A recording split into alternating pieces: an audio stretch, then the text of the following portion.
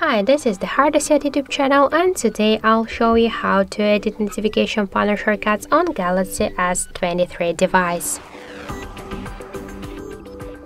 Now first open notification panel and if you want to add here some options or remove some of them or just to change their positions, we should click here to this plus icon and after that you'll see here this section with invisible options. If you want to add from this uh, section some of the options. You should hold the option and drag it to this down section. For example let's also add the camera access option the screenshots the always on display option to the panel.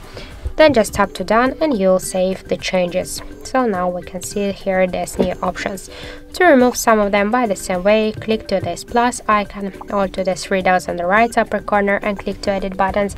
Just to remove the icons from here you should by the same way. Hold the icon and drag to this up section. As you can see that's so simple.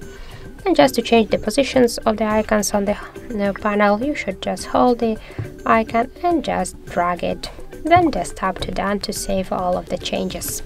So that's it. Thank you for watching. And if you find this video helpful don't forget to leave a like comment and to subscribe our channel